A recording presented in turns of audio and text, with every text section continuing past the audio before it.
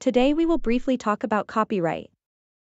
As a student, it is important to understand copyright as this affects both what you are allowed to use in your work and how you share it with others.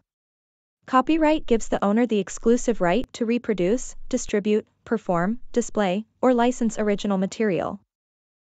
Copyright protects original works of authorship. Copyright exists from the moment the work is created.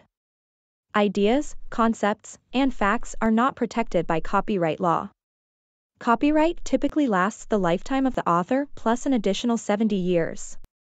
You may have heard of the public domain. The public domain consists of creative works that are not subject to copyright. For example, copyright expires or the creator dedicates the work to the public domain. You are free to use works that fall within the public domain. Now let's talk about fair use. In the United States, fair use is determined by the purpose and character of your use, the nature of the copyrighted work, the amount and substantiality of the portion taken, and the effect of the use upon the potential market. Fair use allows students to use copyrighted works for research and private study. But educational purposes do not apply when you copy large amount of copyrighted materials, use them for your own publications, or upload them to the open internet.